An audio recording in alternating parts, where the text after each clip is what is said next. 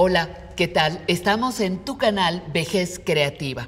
Vamos a empezar una entrevista con el doctor David Barrios, médico, sexólogo y psicoterapeuta.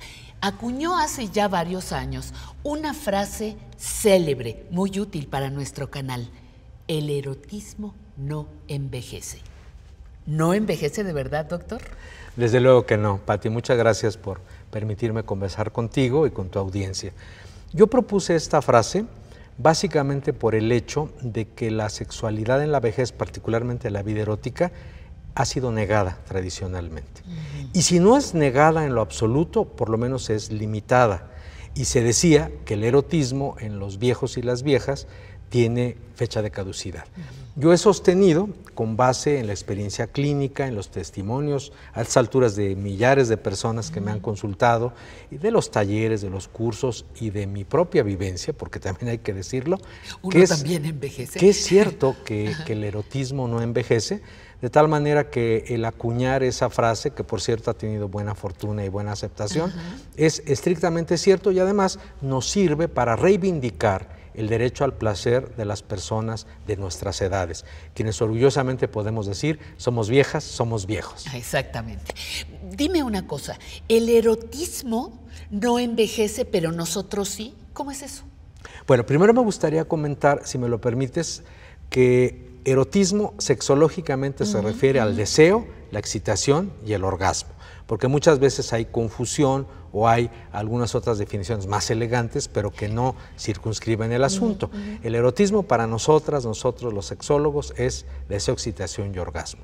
Efectivamente, las personas modificamos nuestro organismo, nuestra mentalidad, nuestros afanes y muchos otros elementos merced al paso de los años. Negar este hecho sería cometer un error fundamental. Hay quienes dicen con buena intención, ah, no, no, es que la vejez es un estado de ánimo. Mangos. No es un estado de ánimo. Se envejece genuinamente. Hay muchas repercusiones en la esfera orgánica, en los diferentes aparatos y sistemas, en la manera emocional de concebir el mundo, la vida, a una misma, a uno mismo, que nos hablan de que en efecto, envejecemos y este es un proceso natural que se va produciendo en nuestra existencia. Ahora, el hecho de que cancelemos simultáneamente la vida erótica, ahí sí es una falacia y es rotundamente falso. No es así. ¿Mi piel envejecida sigue sintiendo? Así es. Nuestra piel envejecida producto del paso de los años, nuestra deshidratación, que también se va produciendo, ciertos problemas articulares, muchos elementos que nos hacen que nos comparemos continuamente con la mujer o el hombre que ya no somos, hacen que fácilmente adquiramos la idea, introyectemos la noción, la hagamos propia, de que ya viejos y viejas, pues ya para qué ya no sentimos, ya no podemos comunicar ni recibir placer y que nos vamos olvidando de eso. La propuesta del erotismo no envejece es justamente, desea yo, reivindicar nuestro derecho al placer, pero también algo muy importante, el actualizarlo, el llevarlo para adelante. Si nosotros creemos esas falsas consignas y esos estereotipos, sin duda que vamos a cancelar buena parte de nuestra existencia. Vamos a vivir, como se dice ahora, con el ego victimizado o fragmentado, como si un cachito, pero muy importante de nuestra vida, nos fuera arrebatado. Y eso no me parece justo, no me parece digno y desde luego pues hay que rechazar esa idea y al contrario, estar continuamente actualizando nuestra vida erótica.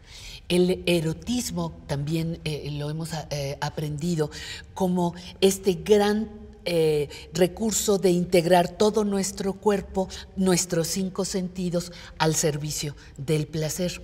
Las modificaciones que va teniendo nuestro cuerpo en varios de nuestros sentidos, eh, ¿no sería una manera de envejecer el erotismo?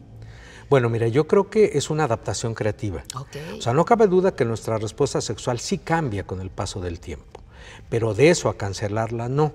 Digo adaptación creativa porque Parece mentira, pero hasta el modo de dar caricias, hasta la manera de emprender los movimientos pélvicos en una relación sexual, se modifican con el paso de los años, no cabe la menor duda.